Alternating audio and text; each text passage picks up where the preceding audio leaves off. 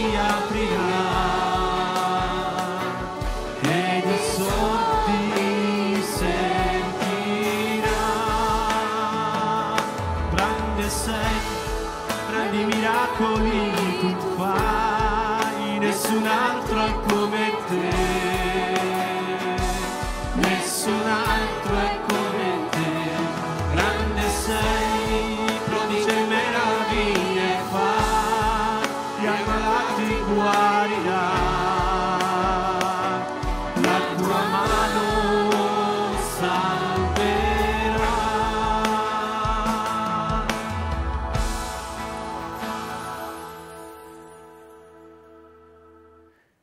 Pace a te, Dio ti benedica e che la benedizione di Dio si posi sopra di te. O rilascio su di te nel nome di Gesù Cristo ogni benedizione su te, sulla tua famiglia, su quello che tu fai, su quello che fanno i tuoi figli, su quello che fanno coloro intorno a te, qualsiasi cosa sia benedetta dal Signore. Perché quando il Signore benedice, non c'è nulla che può impedirglielo di fare.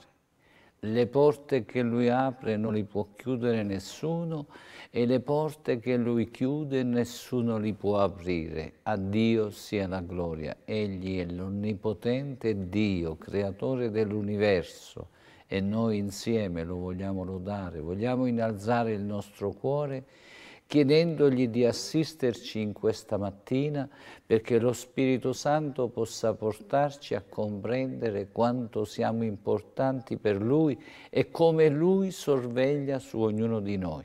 Appressiamoci a Lui, avviciniamoci a Lui col cuore, mettiamoci insieme di pari sentimento e diciamo Signore veniamo a Te perché desideriamo essere da Te benedetti, parlaci in questo giorno, istruiscici, Dacci direttive da seguire per vivere la nostra vita insieme alla nostra casa, alla nostra famiglia, la comunità dove Tu ci hai messi, Signore, per poter svolgere con desiderio profondo di piacere a Te in ogni cosa. Sì, Signore, sì, Signore, sì, Signore. Te lo chiediamo tutti insieme nel nome potente di Gesù Cristo e a Te, Padre, rendiamo lode, onore e gloria ora e sempre per i meriti di Cristo che ci ha salvati e ci continua e continua a sorvegliare su ognuno di noi. Grazie, grazie, grazie che ancora questa mattina tu vuoi parlare ai nostri cuori per mezzo della tua parola. Sì, dacci l'orecchio spirituale per comprendere quello che tu vuoi dire ad ognuno di noi. Te lo chiediamo tutti insieme, sì, sì, sì, nel nome di Gesù. Amen. Amen, amen.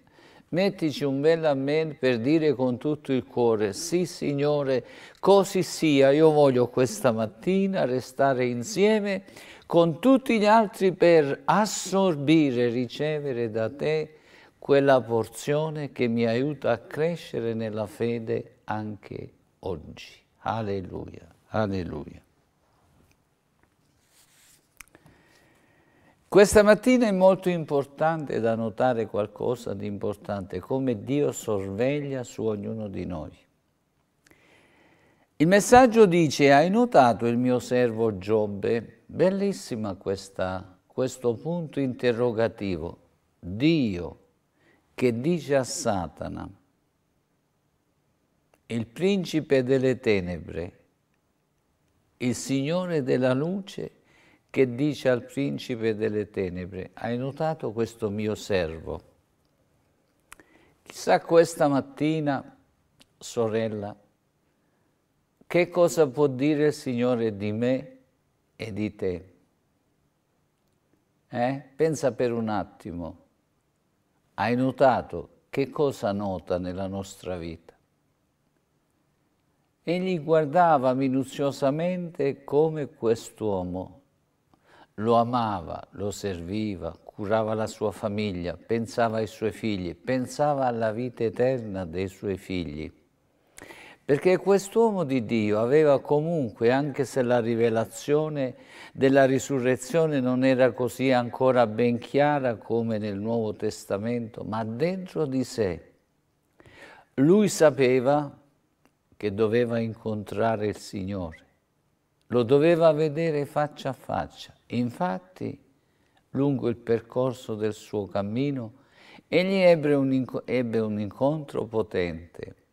Dice, mi avevo, avevo sentito parlare di te, ma ora, dopo le prove, ebbe sicuramente una visione particolare di Dio, nel quale, come Dio sempre fa, visita coloro che lo amano manda gli angeli su coloro che devono essere custoditi. A Dio sia la gloria. Pensa per un attimo cosa pensa Dio di te, di me. Io ci penso e dico, Signore, fammi ogni giorno essere più fedele a te. Leggiamo insieme in Giobbe capitolo 1, verso 8, dice il Signore disse a Satana, hai notato il mio servo Giobbe? Non ce n'è un altro sulla terra come lui, sia integro, retto, tema Dio e fugga il male. Quattro cose bellissime. Integro, retto, fugge dal male e si accosta a Dio. Se fuggiamo da una parte ci dirigiamo verso l'altra e così dobbiamo fare. Hai notato? Satana, il principe di questo mondo. Che cosa vuol dire principe di questo mondo? Quando parliamo del mondo, parliamo del sistema mondo, non del mondo che ha creato Dio. Il mondo e i suoi abitanti sono di Dio, sono creati da Dio. Dio ha fatto tutto. Quando si dice il principe di questo mondo, vuol dire il principe delle tenebre, del sistema di questo mondo che vive nelle tenebre. Hm? Leggiamo insieme. Gesù dice che lui è il principe di questo mondo, il principe delle tenebre. Leggiamo in Giovanni 14, 30, dice, con i discepoli io non parlerò più con voi per molto tempo, perché viene il principe del mondo, cioè colui che genera le tenebre, egli non può nulla contro di me. Le tenebre non possono nulla contro la luce. Dove c'è la luce le tenebre non possono regnare. Qui c'è la luce questo giorno. Non ci sono tenebre. Se non c'è la luce ci sono le tenebre. In questo mondo di tenebre che ha il dominio sulle tenebre, sulle forze delle tenebre, dove c'è oscurità, lui domina. Dove c'è la luce divina, non può fare niente. Ci prova sempre. Il primo, il primo, il principe dei demoni, chiedo scusa. Lui è il principe di questo mondo, il principe delle tenebre. Lui è il principe dei demoni angeli buttati fuori da Dio, angeli decaduti, che vengono chiamati demoni, che si sono associati a Lucifero, che Dio mise fuori dal cielo e, ed è diventato un regno secondario, in netta opposizione con Dio, proprio come le tenebre e la luce. In Matteo 12, 24 dice che lui è il principe dei demoni. Ma i farisei, udendo ciò, dissero, costui non scaccia i demoni se non per l'aiuto di Belzebub, il principe dei demoni. Lucifero che promosse la loro ribellione, questi esseri non sono onnipresenti, cioè presenti dappertutto, ma hanno si muovono rapidamente da una parte all'altra nel mondo, hanno una velocità particolare, che si trovano sempre a sorvegliare, a marcare, diciamo, no? In una squadra di pallone, quando c'è un giocatore un poco pericoloso, il capo squadra, l'allenatore dice per cortesia uno di voi o due di voi marchi a quel giocatore, perché quello è pericoloso. Hanno una rapidità tale questi esseri malvagi che si muovono e marcano i credenti un poco più pericolosi. Chi si consacra di più al Signore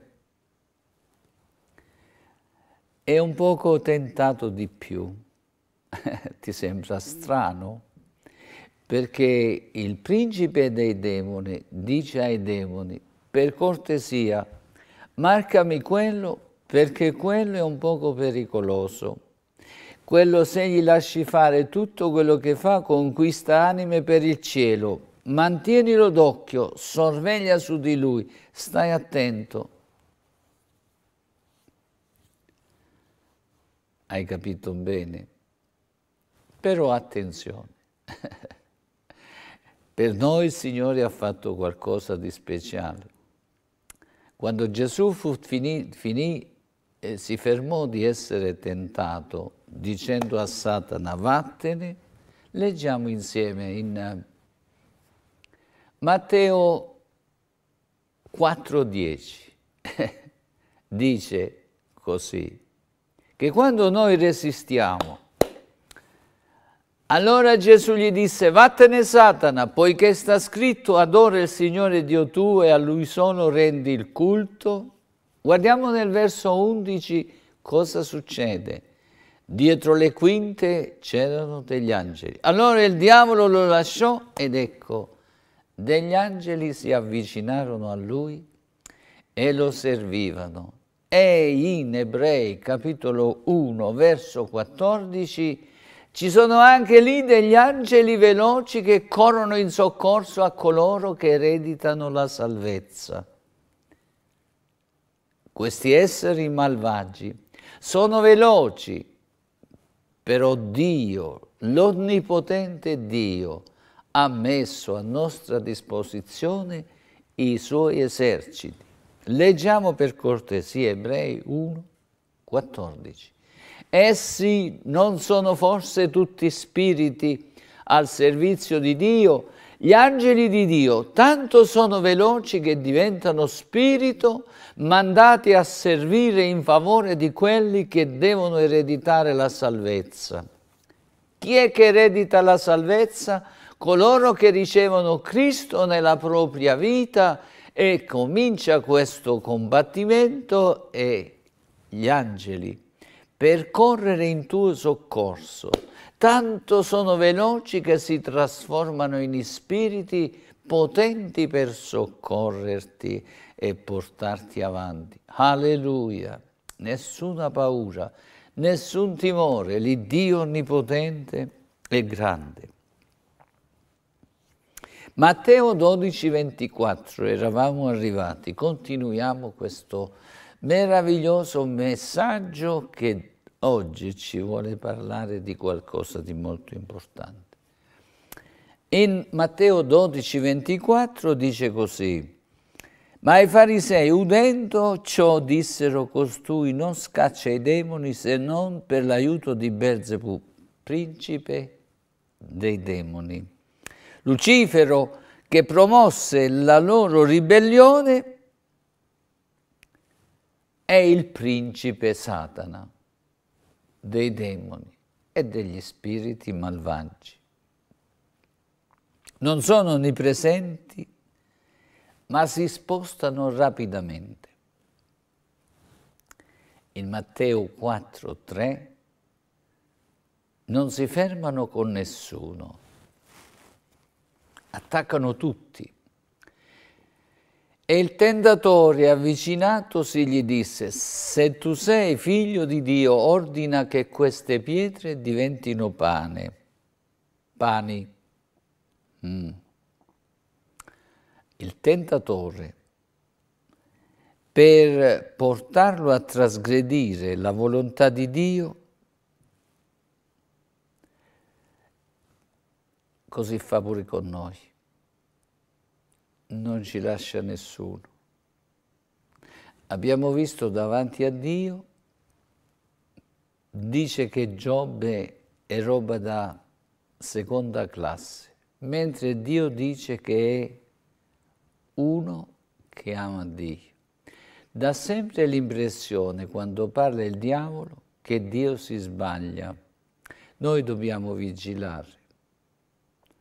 Allora davanti a Dio degrata i credenti e davanti ai credenti dice che Dio è geloso, che Dio non è buono, come fece con Eva. C'è sempre questo contrasto. Noi siamo in mezzo. Con la libertà che il Signore ci ha dato, noi ogni volta dobbiamo scegliere da che parte vogliamo stare. In Matteo 4,3 guardiamo che lui si muove sempre in tutte le direzioni, anche non solo con Dio, la racconta diversamente, ma anche con il figlio di Dio. Perciò questo vuol dire che io e te siamo sempre tentati e noi dobbiamo sempre stare attenti. Hai capito? Vigila.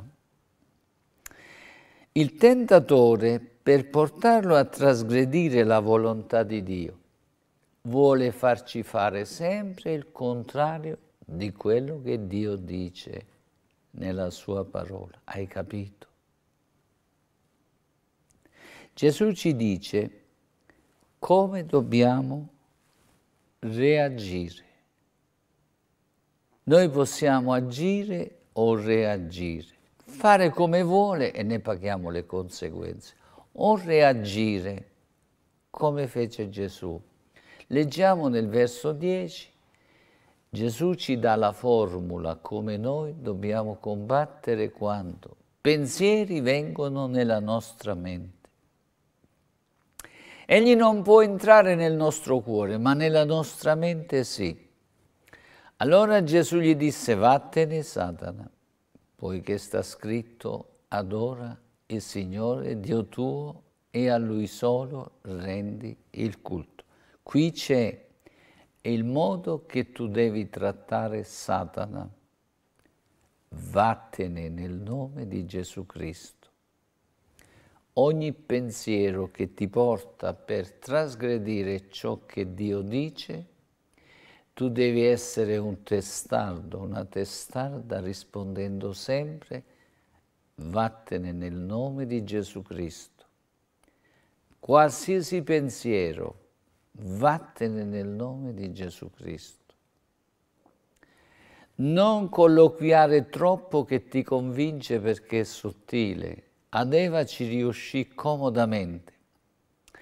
Poi Dopo aver coinvolto Eva, coinvolse anche Adamo, ma il secondo Adamo, l'ultimo Adamo, e non ce ne saranno più, per recuperarci, per trasferirci, nel, in un'altra nazionalità che il cielo, restò saldo nel, nel, senza discutere, non lo ascoltava ripudiava ogni indicazione che veniva da parte del diavolo ed è diventato il nostro capo, compitor di fede, colui che crea la fede, ci ha insegnato come possiamo essere vincitori, senza adagiarci a colloquiare con lui, perché ci arrotola,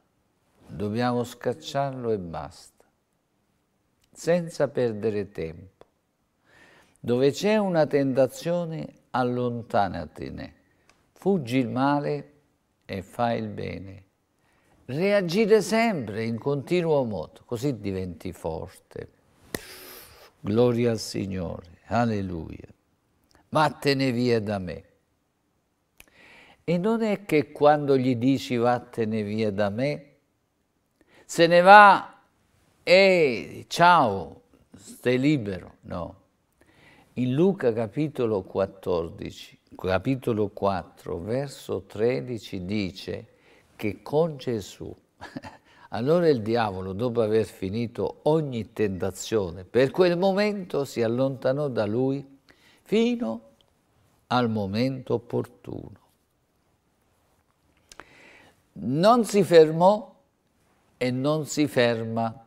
Non pensare che hai una vittoria, che hai vinto in qualche parte e poi dici adesso mi sono sistemato, fino a morte sto bene. No, lui ritorna sempre, sempre, sempre.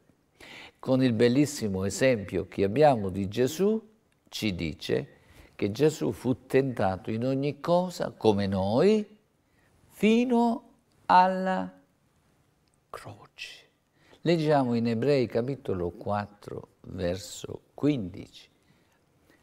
Infatti noi abbiamo un sommo sacerdote, cioè un intercessore, che non possa, non abbiamo un sommo sacerdote che non possa simpatizzare con te e con me nelle nostre debolezze poiché egli è stato tentato come noi in ogni cosa, senza cedere mai,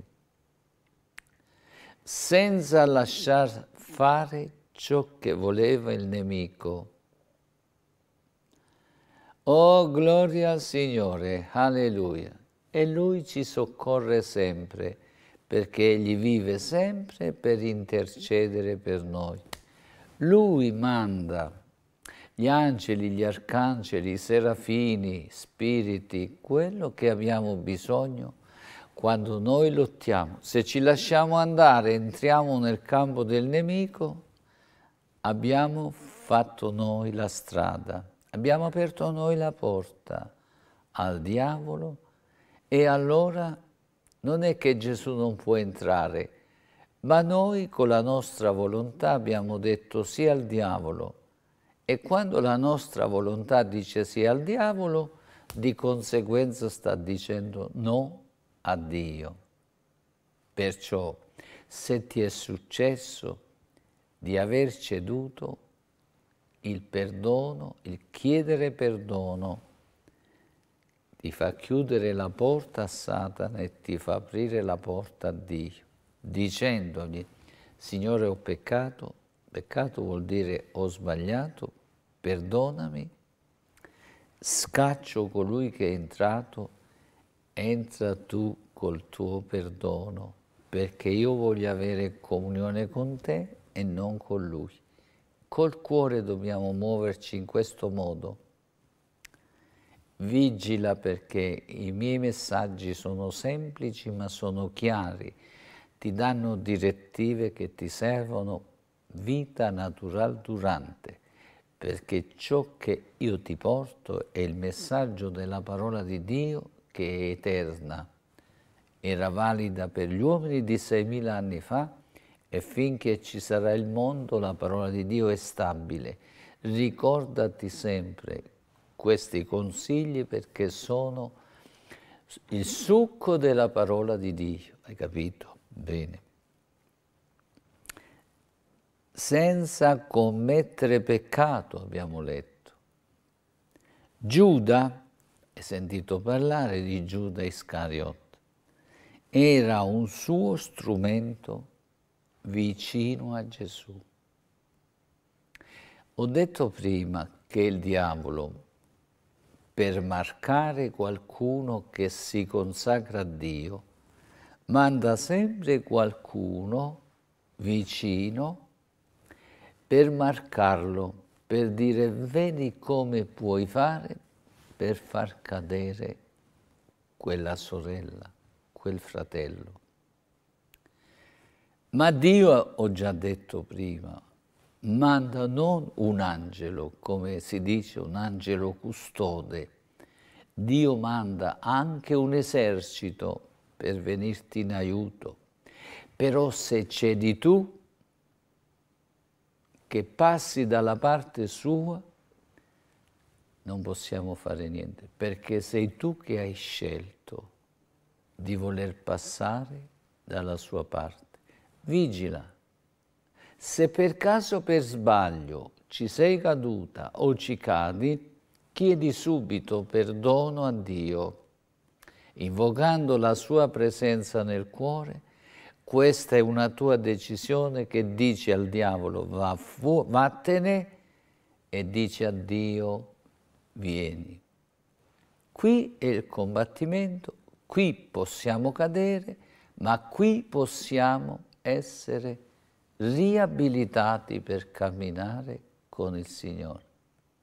Se ti dice che adesso hai sbagliato e Dio non ti riceve più perché hai sbagliato, digli vattene con questo pensiero perché io so che Dio mi ama e io torno a Lui perché Lui è come il padre del figlio prodigo, sempre pronto per abbracciarmi quando torno a Lui e io torno a Lui, così come quella parabola detta da Gesù che rispecchia esattamente il Padre Celeste come si muove verso di noi quando noi decidiamo di voler tornare nella casa del Padre, dal Padre che ci ama. Hai capito? Quella parabola così strutturata da Gesù, ha portato un pezzo di cielo sulla terra per farci comprendere come noi, quando abbiamo fatto delle scelte sbagliate, decidiamo di tornare a Dio, il Padre, in, quel, in quella parabola. E Dio, il figlio il prodigo sei tu e sono io sempre quando ci troviamo in condizioni di miseria spirituale, che siamo venuti meno e abbiamo sprecato la grazia che Dio ci aveva dato, Lui ci vuole dare l'altra. Questo è importante. Ricordati che quella parabola nel capitolo 15 del Vangelo di Luca è una parabola celeste, i principi del regno di Dio il principio di come Dio agisce quando noi ci muoviamo come quel figlio il prodigo. Quando decise di tornare, il perdono era lì a portata di mano. Se questo momento, mentre ti parlo, tu ti senti lontana, ti senti lontano da Dio e vai col cuore a Lui, in questo momento Lui ti abbraccia e fai festa. Ricordatelo sempre. Non ascoltare il diavolo quando ti dice adesso hai sbagliato e non ti ama più. Dio ama sempre, sempre, sempre, perché la sua natura è amore. Alleluia. Giuda era un suo strumento vicino a Gesù. In Giovanni 6, 70 dice proprio questo. Gesù rispose loro, non io ho scelto voi dodici, eppure uno di voi è un diavolo. Capito? Non c'è in nessuna parte nel Vangelo dove Gesù abbia chiamato Giuda. Giuda è un intruso. Giuda è stato mandato dal diavolo per marcare Gesù. E Dio lo ha usato per portare a destinazione le profezie che riguardavano Gesù. Il diavolo è al servizio di Dio. Il diavolo è come il cane legato vicino alla masseria di un contadino. Può arrivare fin dove gli mette la catena, oltre non può passare. Dio è l'Iddio onnipotente, il diavolo è potente. Dio è l'onnipotente. Perciò noi dobbiamo camminare tranquilli. Ricordati queste espressioni, sono brevi, piccole, ma sono il contenuto di ciò che dice la parola di Dio. Hai capito? Torna al Signore subito senza perderti d'animo.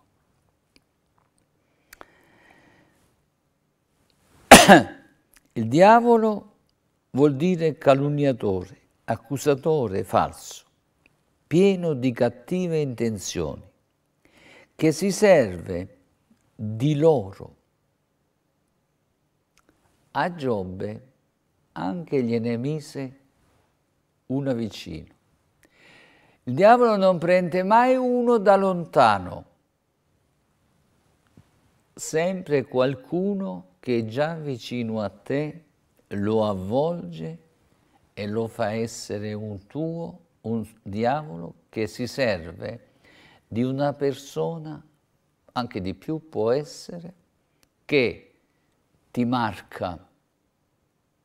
Se sei credente, già lo Spirito Santo ti sta dicendo chi è questa persona.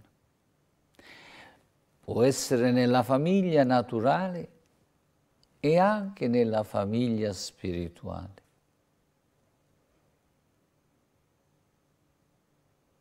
Hai capito?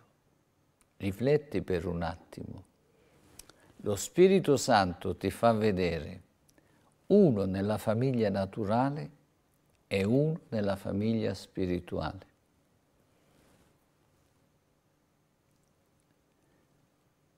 Chiudi gli occhi, apri il cuore e lo Spirito Santo ti dice questo ti sta marcando per accusarti sempre, dire sempre il contrario di quello che tu dici.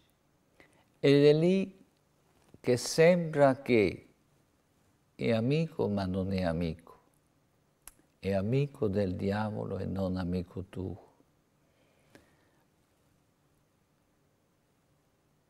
A Giobbe chi gli mise? Leggiamo nel capitolo 2, verso 8.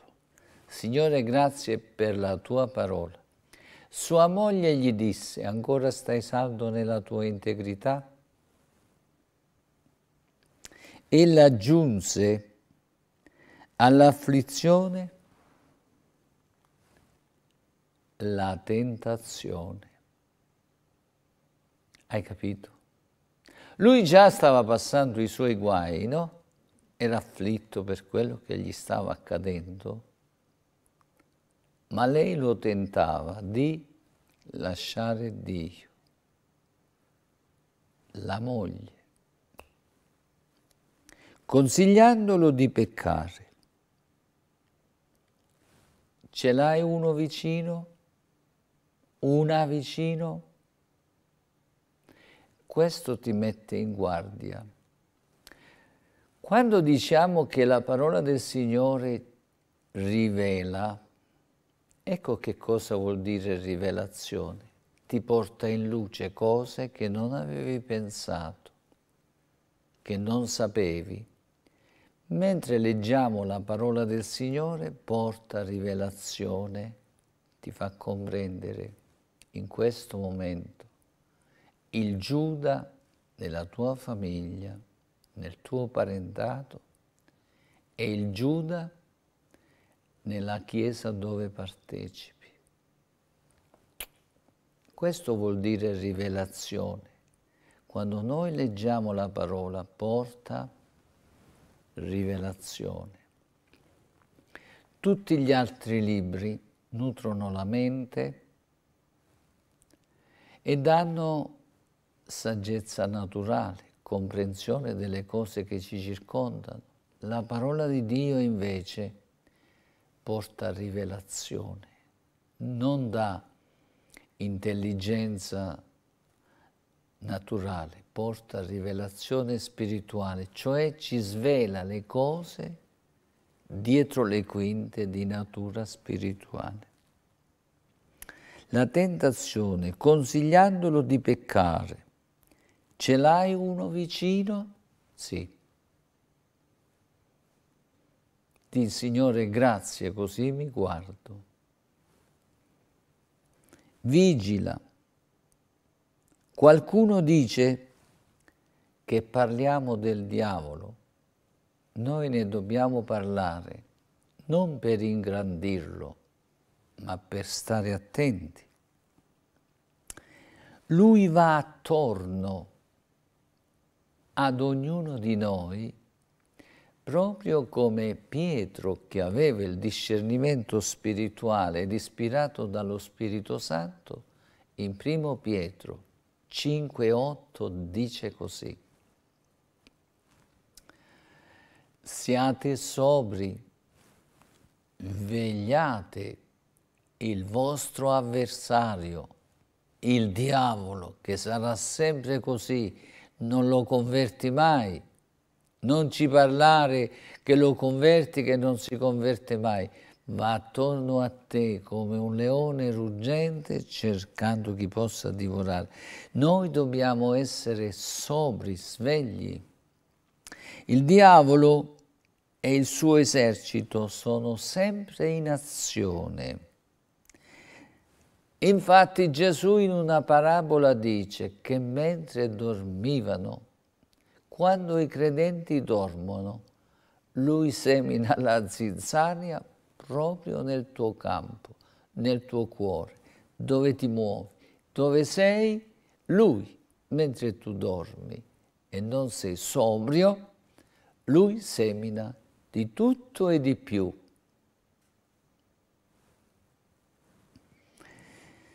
per tentare, perseguitare, per avvilire il credente. Una volta che ci avvilisce, non abbiamo più la forza di reagire. Perciò dobbiamo mantenere sempre una struttura allenata. Ho sentito dire di un giocatore, Ronaldo, io non sono sportivo, che è un alto livello, ma dice che sta sempre in allenamento. Quando mangia il giorno, si trova in albergo, ad un certo punto lascia il mangiare, esce fuori e comincia a muoversi per mantenersi in allenamento, perché sa che deve giocare, sa che c'è chi lo marca poi perché è pericoloso, ma lui sfida con la sua sobrietà, è sobrio, dobbiamo essere sobri. Per avvilire il credente, per umiliare il credente. Umiliare può venire anche qualcuno che ti dice che non sei umile, ma non è che non sei umile, perché man mano che tu maturi nelle cose spirituali, più maturi, più diventi umile, se no non, non hai successo. Invece quando tu sei proprio più usato dal Signore, viene qualcuno e ti dice che non sei umile perché ti vuole umiliare, non perché non sei umile. Sì, se tu cresci nelle vie del Signore non puoi essere un arrogante perché se no non cresci. Vuole umiliare, vuole mortificare, vuole indebolire, vuole ostacolare ci vuole allontanare da Cristo. Questo vuole fare sempre. Ogni pensiero che ti viene per avvicinarti a Cristo, quando vuoi pregare, quando vuoi andare al culto, eh, trova sempre un'altra cosa per deviarti. Se per caso hai un'attività, quando stai per chiudere ti manda i clienti. Così tu per dar retta ai clienti non vai al culto devi essere determinato. Mi viene in mente quando lavoravamo con mia moglie, quando c'era la serata di culto e stava per arrivare eh, l'orario di chiudere, venivano più clienti. Mia moglie, molto avveduta, allora disse lascia fare a me. Quando è che c'era l'orario di poter eh, dare lo spazio da fare la spesa, prendeva il microfono e diceva pregasi avvicinarsi alle casse perché stiamo per chiudere. Era pieno di clienti. Mi disse un amico, ma tu se fai come fanno gli altri che stanno fino alle 10, sai quanti soldi farai con tutta sta gente? Risposi con piena coscienza, se io trascuro il culto non faccio soldi, faccio debiti. Perciò noi chiudiamo, perché il diavolo se le inventa tutte, a te si inventa qualche altra cosa, tu devi essere sobria, tu devi essere sobrio. Sai che cosa successe? Un qualcosa di speciale. Noi eravamo due concorrenti che trattavamo, avevamo due cash and carry, ma cosa succedeva? Che andavano prima all'altra parte, poi venivano da noi e compravano soltanto quello che non avevano trovato all'altra parte. Ma quando abbiamo preso il microfono per dire per cortesia noi chiudiamo, allora sapendo che chiudevano, che chiudevamo, i clienti si invertirono automaticamente. Vedi il Signore come collabora con noi? Pensavano e dicendo, andiamo prima al cash di Cipi, così si chiamava il mio cash and carry, perché se no quello chiude. Il bigliettino della lista che avevano anziché venire qua per prendere quello che non avevano trovato, prendevano tutto quello che gli serviva. Aumentò subito il fatturato. Vedi, quando noi onoriamo Dio, Dio onora noi. Ricordatelo sempre. Tu farai un altro mestiere, avrai altre, altre, altri tipi di tentazione, ma attenzione, sii sobria sii sobrio fratello, perché lui ti marca, se ti può indebolire, se ti può mettere in difficoltà, lo fa senza scrupoli. Sii sobria, vuole ostacolare, ci vuole allontanare da Cristo, convince che Dio non è buono, invece Dio è buono qualsiasi cosa succede, ti viene a dire che Dio, se tu come figlio di Dio, come figlia di Dio, Dio ti amasse veramente, ti avrebbe cautelato. Nel Salmo 100, verso 5, dice che Dio è buono ed è buono veramente. Leggiamolo insieme. Poiché il Signore è buono, la sua bontà dura in eterno e la sua fedeltà per ogni generazione ed è fedele. Mm, grande sei Signore. Leggiamo nel Salmo 85, 7, Gloria sia resa a Dio. Leggiamolo, leggiamolo. Mostraci la tua bontà, Signore, e concedici la tua salvezza. Bontà vuol dire amore leale, sempre. Dio se ha sempre un amore leale per te e per me. Ci dobbiamo fidare di Lui. Io mi fido di Dio e non del diavolo. In primo Pietro, verso 5-9, ci dice, continua l'argomento dicendo a ognuno di noi, resistetegli, stando fermi nella fede, sapendo che le medesime sofferenze affliggono i vostri fratelli sparsi per il mondo. Non dire succede tutto a me, ai credenti gli succede di tutto e di più, ma con Cristo manteniamo la posizione. Resistere vuol dire puoi parlare quando vuoi, io non ti ascolto perché io ascolto Dio. Capito? lo dobbiamo resistere, lo dobbiamo contrastare. Lui dice una cosa, noi dobbiamo dire l'altra cosa. Dobbiamo stare all'opposizione continua e non ubbidire mai. In Matteo 4,10 Gesù ci ha detto come dobbiamo fare. Non dobbiamo fare come Eva che si fece convincere, guardava, la, guardava il frutto e diceva ah forse c'ha ragione. Può darsi che c'ha ragione. Oh, Puoi vedere che veramente Dio è geloso di me. Vedi, Dio poteva essere geloso di, di, di, di Eva che l'aveva fatta lui, ma Signore aiutaci. Si fece convincere e cadde. Così fa pure con te. Attenzione. In Matteo 4,10 Vattene Satana, poiché io devo servire il Signore, devo adorare Dio devo amare Lui e devo seguire Lui. Vattene. Cosa rispose Giobbe alla moglie nella tentazione? Leggiamo Giobbe capitolo 2, verso 8 e 9. Guarda che sei marcata, sorella, guarda che sei marcato, sorello, fratello. Sua moglie gli disse, ancora stai saldo nella tua integrità? ma lascia stare Dio e muori.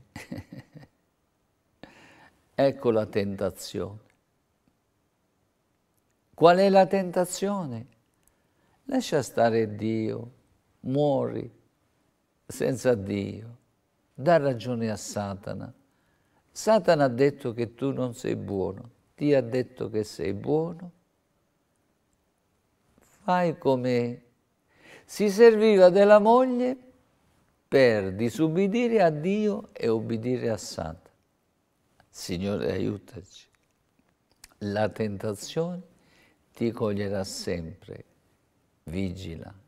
Guardiamo come se ne esce dalla tentazione Giobbe.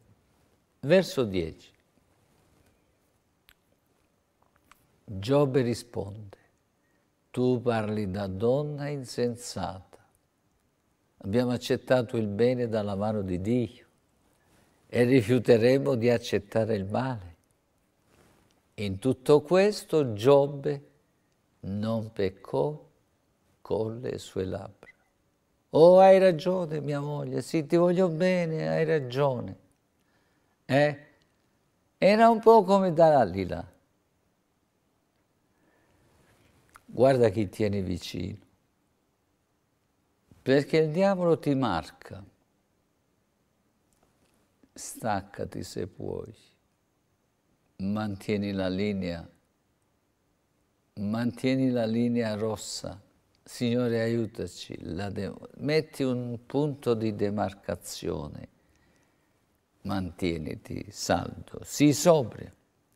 Donna insensata, questa donna non compare più in tutto il libro, compare quando Dio voleva benedire Giobbe.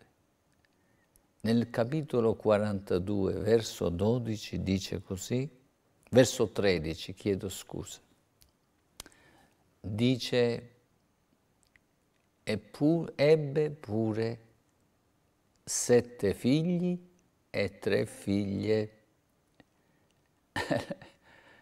La moglie serviva pure a Dio per benedire Giobbe. Ma perché successe tutto questo? Se lui ubbidiva alla moglie, nega Dio e muori, la benedizione la perdeva. Tu non devi perdere la benedizione. Leggiamo dal verso 12 al verso 17. Quanto sei bello, Signore. Alleluia. Gloria al Signore. Ebbe pure sette figli e tre figlie. E chiamò la prima Gemina, la seconda Chesia, e la terza Kerenapuk. In tutto il paese non c'erano donne belle come le figlie di Giobbe e il padre assegnò loro un'eredità tra i loro fratelli. Giobbe, dopo questo, visse 140 anni e vide i suoi figli e i figli dei suoi figli fino alla quarta generazione. Poi Giobbe morì vecchio e sazio di giorni. Dio gli aveva dato anche il sostegno fino alla fine. Alleluia. Credo che non l'assisteva più la moglie, perché la moglie, dopo aver fatto un compito, non c'era più. Dice che Giobbe visse la moglie. Non sappiamo quando era partita. Forse dopo la la nascita dei figli. Ciao. Bellissime queste storie, nella Bibbia ci sono e ci consigliano di seguire. Ma quando Dio dice, hai notato Giobbe mio servo, guardiamo un'altra cosa, noi genitori. Anche te che aspetti un bambino cominci a pensare come ti devi comportare da madre o da padre. Da madre o padre, marito, moglie. Quando noi seguiamo i principi divini, sempre la benedizione di Dio ci accompagna e la vediamo anche in politica possiamo vedere questa differenza. Abbiamo avuto ultimamente la politica, coloro che amministrano le leggi, che per un lungo periodo di tempo hanno detto dobbiamo togliere il padre, la madre, dobbiamo mettere gli aborti, dobbiamo mettere il, il, il grembo infitto, surrogato, eh? Tutto questo è contro la parola del Signore. Ma Dio non paga il sabato. Hanno propagato in momenti di difficoltà, in momenti che avevamo il Covid, che avevamo tanti problemi, Zan e, e, e, Zan e tutti gli altri proclamavano fitto dell'utero.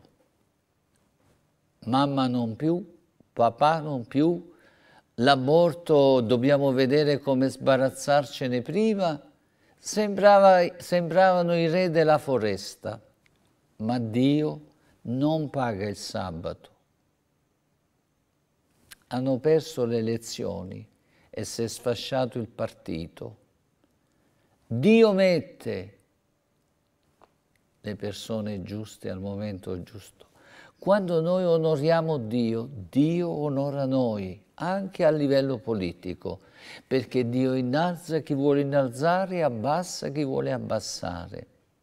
Questi risultati sono i risultati della scelleraggine quando noi ci opponiamo ai principi divini. Il risultato era stato un partito senza capo, non si riesce a capire una capessa che c'è. Io non, sono di ness- non parlo di partito perché sono apolitico, ma dico una cosa. Hanno messo proprio quella che è contraria ai principi divini, ma Dio ci ha pensato prima. Ancora non hanno nessuna proposta per la nazione. Fanno solo opposizione anche quando fanno bene. Ma vedi il diavolo come si serve delle persone? Noi dobbiamo vigilare. Signore, grazie. Sì, Signore, noi dobbiamo pregare per i nostri governanti, perché poi Dio spiana la strada. Non saranno santi, ma almeno non tolgono i principi di Dio, ciò che Dio ha detto nella Bibbia. Bene. Guardiamo un'altra cosa di Giobbe perché è molto importante per noi, per noi genitori, noi che crediamo papà, mamma, la famiglia, i figli. Eh? Giobbe aveva dei figli. Guardiamo. In Giobbe 1, 8 dice, hai notato? Leggiamolo insieme. Speriamo che Dio noti te e me che come ci muoviamo in casa. Hai notato il mio servo Giobbe?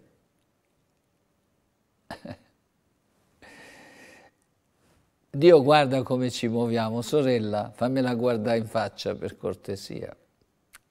Sorella, fratello, quando tu ti muovi contro i principi divini, Dio ti vede. Hai notato? Stai pensando di applicare i principi divini, perché se li applichi Dio ti vede. Giobbe aveva dei figli con sua moglie, riebbe i figli con sua moglie, non Giobba Giobba, non Giobbe Giobbe. I principi divini sono principi divini. Ricordati che se non li applichi giusti, la, il giudizio di Dio cade sopra di te, ricordatelo. Cosa stai macchinando, cosa stai pensando? Guardiamo insieme. Hai notato? Notiamo noi genitori adesso. Leggiamo insieme il verso 4. Sei caro Signore, ti benediciamo come tu ci parli i figli, i suoi figli, erano soliti andare gli uni dagli altri e a turno organizzavano una festa e mandavano a chiamare le loro tre sorelle perché venissero a mangiare e a bere con loro. Hai figli, sorella? Hai figli, fratello? Sì? E per certo sei stato con tua moglie o tua moglie con tuo marito. La modernità dice che devono stare senza padre, senza madre, stanno combinando guai da tutte le parti. Io spero che tu non sia, non sia una di quelle, uno di quelli, ma non perché lo desidero io, perché ti attiri il giudizio di Dio addosso. La pagherai e la pagherai cara perché Dio è un giusto giudice. Nel verso 5 guardiamo quest'uomo, è un'indicazione che serve a me e a te. Attenzione, ti voglio parlare seriamente, genitore, anche per te che sei in procinto di sposarti, hai da imparare da quest'uomo, perché questo è un esempio speciale. Per dirlo Dio è uno che possiamo eh, imparare da lui. Guardiamo il verso 5. Quando i giorni della festa terminavano, Giobbe li faceva venire per purificarli. Si alzava la mattina presto e offriva un olocausto per ciascuno di essi. Un vitello per ognuno. Guarda che lavoro. Può darsi che i miei figli abbiano peccato e abbiano rinnegato Dio in cuor loro. Giobbe faceva sempre così. Oh che bello. Stai pensando ai tuoi figli, sorella, fratello? Tu dici, ma io che devo fare? Eppure. Secondo me lui non faceva solo questo, ma pregava pure. Mm. Era premuroso per loro, per la loro salvezza, per ottenere il favore del Signore sui suoi figli. Questo era il sistema dell'Antico Testamento. Il Levitico 1.3 dice che chi faceva così cercava il favore del Signore. Leggiamolo insieme. L'offrirà, l'offrirà all'ingresso della tenda di convegno per ottenere, se lo puoi mettere verde per costesia, se la sua offerta è un olocausto di bestiame grosso, vitelli, offrirà un maschio senza difetto, lo offrirà all'ingresso della tenda di convegno, sottolineami per ottenere il favore del Signore. Giobbe faceva questo per i suoi figli, li chiamava oppure anche solo a casa faceva questo, ottenere il favore del Signore. Esprimeva il pentimento per i peccati commessi dai loro figli, dai suoi figli. Signore, grazie. Ascolta, genitore, nel verso 4. Guardiamo ancora. Poserà la mano sulla testa dell'olocausto e il Signore lo accetterà come espiazione Pensa per un attimo. Oltre ad uccidere il, il vitello migliore per ogni figlio, metteva la mano sul collo dell'animale, presentando il figlio al quale lui dedicava questo sacrificio per l'espiazione e invocava il perdono di Dio per quel figlio. Se per caso avesse peccato, in generale lui non sapeva che facevano i figli, ma li presentava uno per uno in questo modo, impegnato per uccidere e per bruciare questa offerta al Signore. Per ogni figlio metteva le mani per chiedere perdono e cercare il favore di Dio sul suo figlio, sulla sua figlia. Genitore, hai capito qual è il tuo compito? Aspetta che ti parlo, non devi uccidere il, il vitello, no, no, no, attento. Allora questa, questo serviva per coprire il peccato. Accompagnato da una preghiera di pentimento per i figli, come espiazione. Noi abbiamo già chi ha espiato i nostri peccati. Gesù Cristo nel capitolo 53, verso 4 e 5 di, di Isaia dice Tuttavia Gesù erano le nostre malattie che gli portava, erano i nostri dolori, quelli di cui si era caricato, ma noi lo ritenevamo colpito, percosso da Dio e umiliato. Egli è stato trafitto a causa delle nostre trasgressioni, stroncato a causa delle nostre iniquità, il castigo per cui abbiamo pace è caduto su di lui e mediante le sue lividure noi siamo stati guariti. Per noi e per i nostri figli, in secondo Corinzi capitolo 5 verso 21 dice che Cristo è diventato peccato, colui che non ha conosciuto peccato, perché era stato puro fino alla fine, egli lo ha fatto diventare peccato per noi affinché noi diventassimo giustizia di Dio in lui. Per loro, per i loro peccati, i peccati dell'Antico Testamento per mezzo del sacrificio venivano coperti i peccati agli occhi di Dio e ricevevano il favore di Dio. In Ebrei 10.4 dice che questi non potevano salvare dal peccato. Leggiamolo.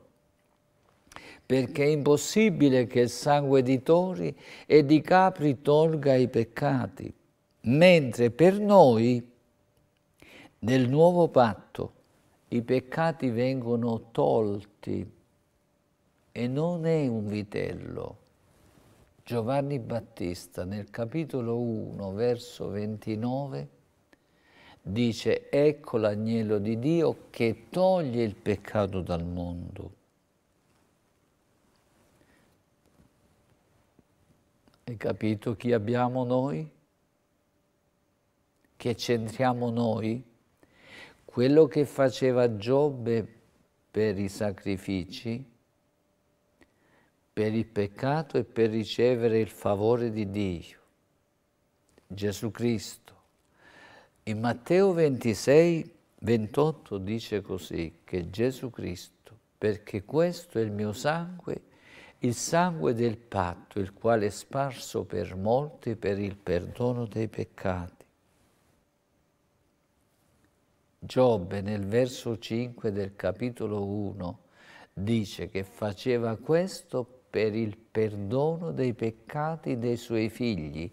Li presentava a Dio ogni giorno. Ricordati, sorella, fratello, tu che sei in procinto di avere una famiglia, tu che ti devi sposare, tu che hai figli piccoli, tu che hai figli medi, puoi avere anche figli di 80 anni, tu devi pregare il Signore, devi invocare il perdono di Dio, il favore di Dio per mezzo di Gesù Cristo, devi confessare i peccati e devi pregare per loro, devi intercedere per loro. Molti genitori non dormono che vogliono fare qualcosa per i figli, No, noi dobbiamo imparare non a prenderci i pesi dei figli perché già abbiamo i nostri, dobbiamo così presentarli al Signore perché il Signore li perdoni, il Signore li lavi, il Signore gli conceda il suo favore.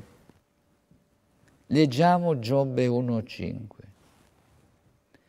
Quando i giorni delle feste terminavano, Giobbe li faceva venire per purificarli, si alzava di buon mattino e offriva un olocausto per ciascuno di essi, perché diceva, può darsi che i miei figli abbiano peccato e hanno rinnegato Dio in cuor loro. Giobbe faceva sempre così.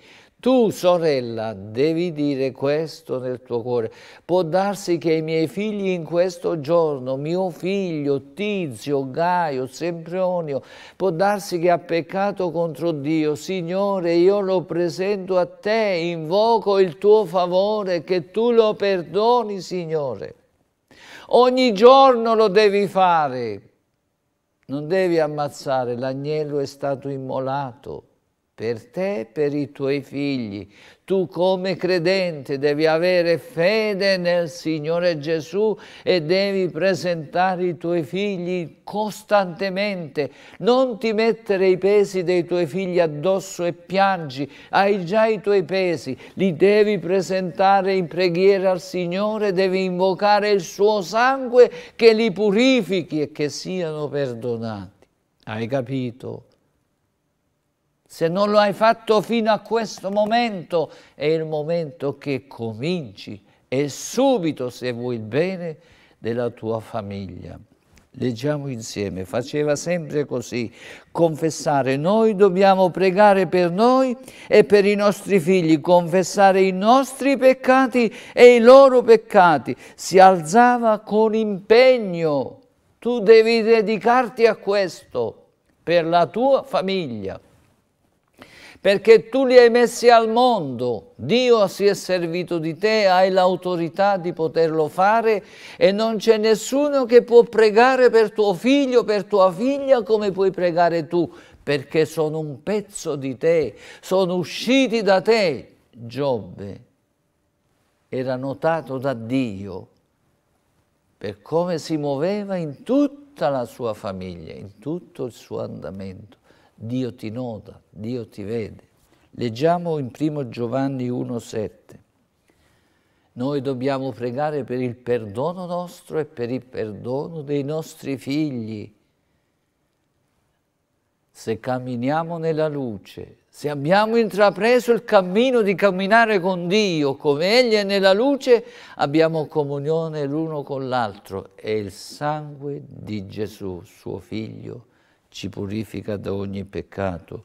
Per noi, per i nostri figli, uno per uno e anche per i nostri nipoti, perché Gesù perdona non ti fermare, non ti perdere d'animo, perché il Signore opera nella tua casa, perché Dio ti ama. Questi esempi sono per te, sono per me. Verso 9 dice così.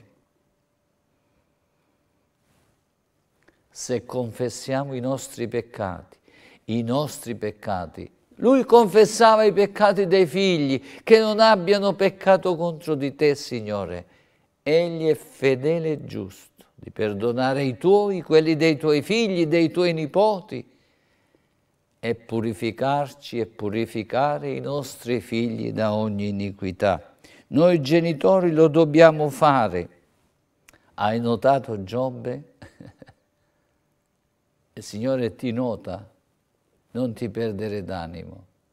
Se sei una sorella anziana, un fratello anziano, non metterti carichi che non dormi la notte. Quando non dormi e ti svegli, presentali al Signore e fermati lì. Non fare le cose che tu non puoi fare.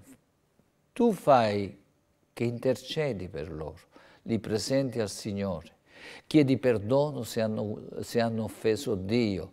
Invochi il sangue di Cristo sopra di loro che siano lavati e purificati quando non dormi per loro, presentali al Signore, mantieni una preghiera costante per te, per i tuoi figli, per i tuoi nipoti, per la tua casa e non stare a piangere per cose che non puoi fare. Questo dobbiamo fare noi e Dio fa il resto. Hai notato? Noi genitori lo dobbiamo fare. Hai notato? Leggiamo in Giobbe 1, 18 e 19. Quello parlava ancora quando ne giunse un altro di a dire i tuoi figli e le tue figlie mangiavano e bevevano vino a casa del loro fratello maggiore.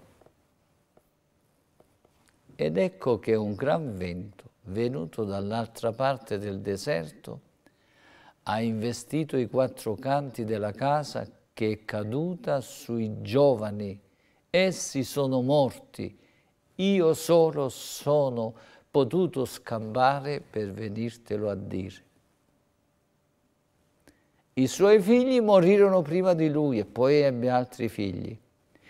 Però il Papa aveva pensato alla loro eterna eredità. Li voleva con sé nel cielo e quel modo di fare gli permetterà di stare con loro nel cielo. Hai mai pensato che i figli che tu hai avuto, i nipoti che tu hai, se non sono nel cielo sono nell'inferno?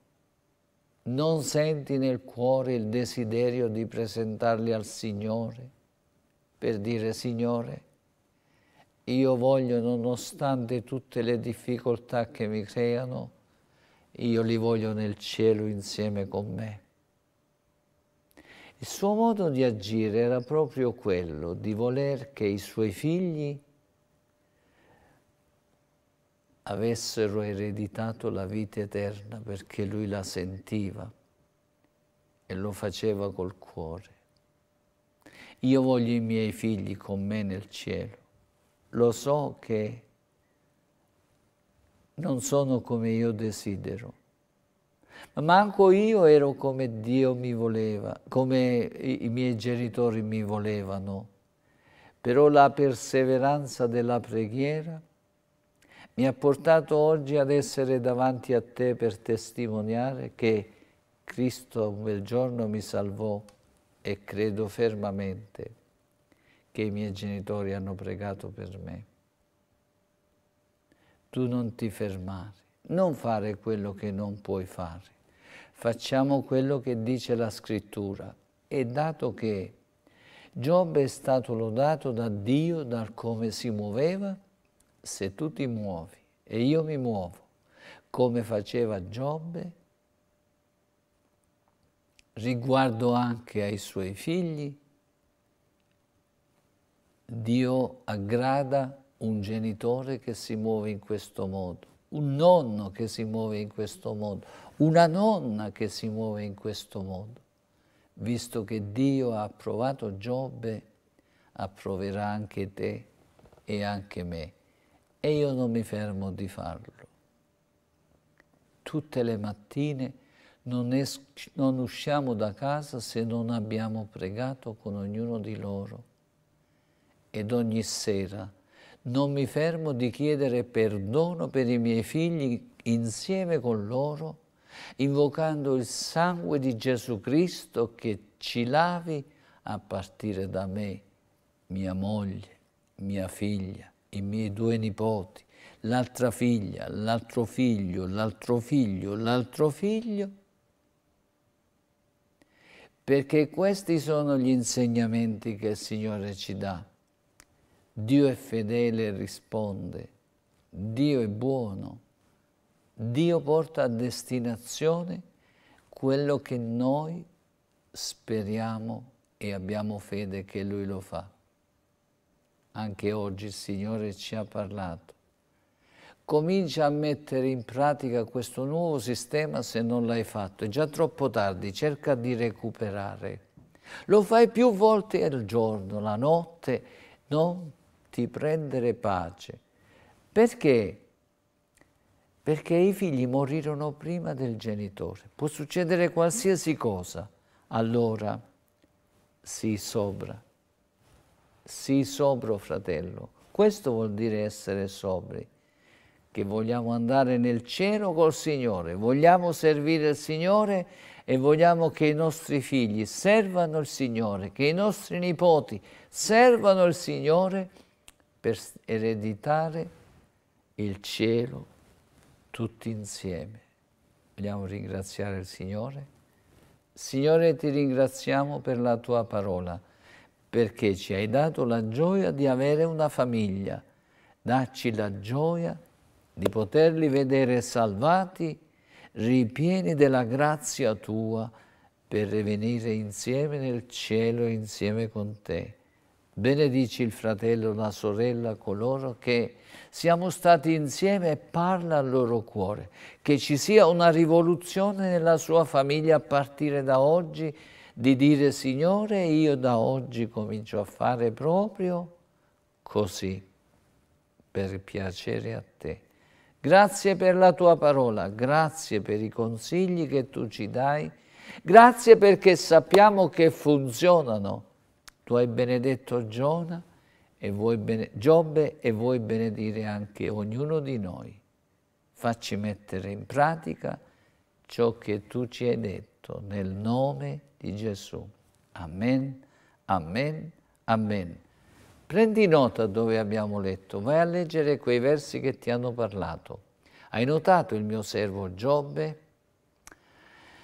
Giobbe 1,8, Giovanni 14,30, Matteo 12, 24, 4,3, 4,10, Luca 4,13, Ebrei 4,15, Giovanni 6,70, Giobbe 2,8, Primo Pietro 5,8, Salmo 105, Salmo 85, 7, Giobbe 2, 8 a 10, 42 da 12 a 17, Giobbe 1, 4 e 5, Levitico 1, 3 e 4. Isaia 53, 4 e 5, secondo Corinzi 5, 21, Ebrei 10, 4, Giovanni 1, 29, Matteo 26, 28, Primo Giovanni 1, 7, 1, 9, Giobbe 1, 18 e 19. E anche oggi il Signore ci ha parlato. Lasciati guidare dallo Spirito Santo, condividi questo messaggio, che ci sono tanti genitori che hanno bisogno di udire questo messaggio per la salvezza loro, dei loro figli, dei loro nipoti, della loro casa.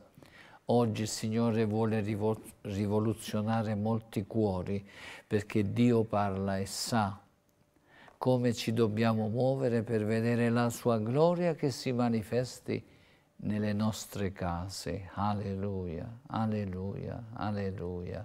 Coinvolgi la tua famiglia, manda questo messaggio dovunque ti dice il cuore, sui social, vallo a ripescare su YouTube mandalo dove può essere di aiuto a tante famiglie di credenti che vivono un poco così ed hanno bisogno, abbiamo bisogno di mettere in pratica ciò che dice Dio. Dio ti benedica, ci vediamo stasera, Dio piacendo, per il culto di adorazione alle ore 20. Dio ti benedica.